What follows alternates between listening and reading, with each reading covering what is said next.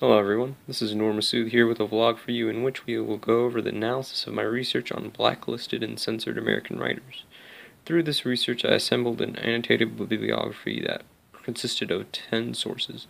These sources range from textual print to online postings. Many of these writers were simply publishing works that just clashed with the public opinion of that era.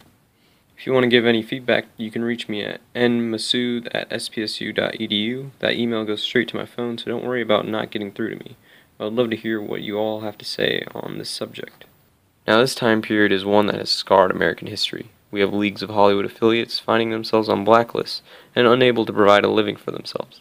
Then we have many writers fleeing the country or protesting openly. Many find that they have been blacklisted for simply talking to those that are being watched. In my research, I found many of these cases and other situations. In the first source, I go over a cover story for Cobblestone History Reference Center. This article is by Meg Green, and it was published in 1994. The article to me looked like a great start as it summarized the landscape of that era and pulled many stories from multiple African American writers that were being affected. I also liked that since it was published decades after, it was able to show the big picture of this era. Next, I have Uncle Tom's Children, the first of three pieces by Richard Wright in this annotated bibliography.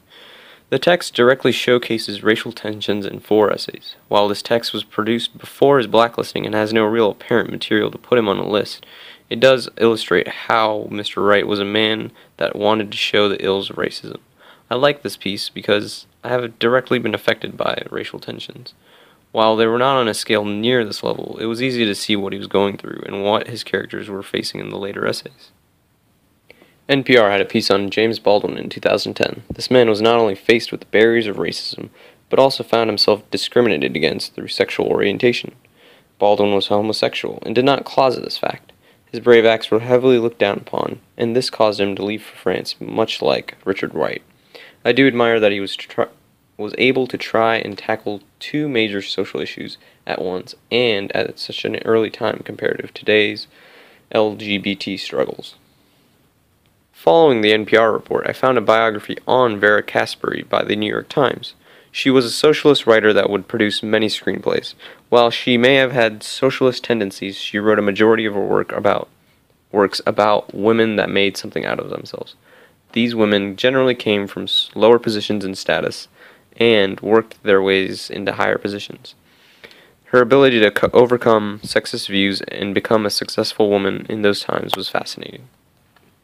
Staying on the theme of women's rights, I have The Outward Room by Millen Brand. This book follows a lady in the Big Apple, New York City. She's captivated by the city and is quickly trying to make a name for herself. Millen Brand was a large civil rights activist that found himself testifying in court to Senator Joseph McCarthy. It just shows just how radical these ideas were at the time and that they would lead to trials and censorship. The ideas of McCarthyism were extremely hazardous as they ruined lives. The next source I chose was a risky piece during that time. Why the Fifth Amendment by Howard Fast openly criticized the actions of this witch hunt. This essay was released in a communist publication in 1954, and the fact that Fast still had the courage to question these men is a brave act. This piece deals with McCarthy's desire to remove the Fifth Amendment and why that is such an atrocity. My ninth source is another from Howard Fast, but from an earlier time. In it, we find out about his brushes with the law. The next two sources are from Richard Wright, and both are novels that garnered much attention and praise. The first being Native Son, a book where we find a protagonist that has been shaped by the culture around him and commits crimes. The driving point of this book is to show what the effects are of being treated as a subclass citizen. It opened the minds of many white populations. The other book, The Outsider, has a similar plot in that there is violence, but is from an intelligent man. The pro- protagonist is a smart African American that gets the opportunity to leave his old life behind. He takes it and ends up leading a life of psych- psychopathy, and that leaves him dead. These novels are meant to make the masses think about their actions, and what may seem normal to them is intolerable. The ninth source I have here is Howard Fast's open letter to the American people. It is a call to those willing to help him. He begs for help as his committee of friends and colleagues is facing trial. While claiming charity is the main cause of this committee, there's a definite feeling that this has other factors that Howard is not disclosing. His actions are definitely what gets him on a blacklist. This committee is also communist oriented. There's no doubt that this committee could be up to something else. My final source is one of the most interesting ones, in my opinion. It's of an FBI record kept on Richard Wright. The amount of detail in this file was enormous for someone who had left the country. There were so many tabs kept on Richard Wright while he was out of the country, and details ranged from where he was meeting and what he was doing to communication logs between Langley and the Paris embassy regarding his status. This was my favorite source as it's interesting to see amount, the amount of work put into creating the file and how vast their abilities are.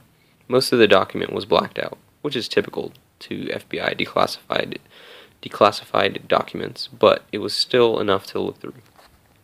I found this time period to be very interesting, and I enjoyed finding the information on these writers and seeing all that they had to put up with. It's most definitely made me appreciate the time period we live in. Thank you.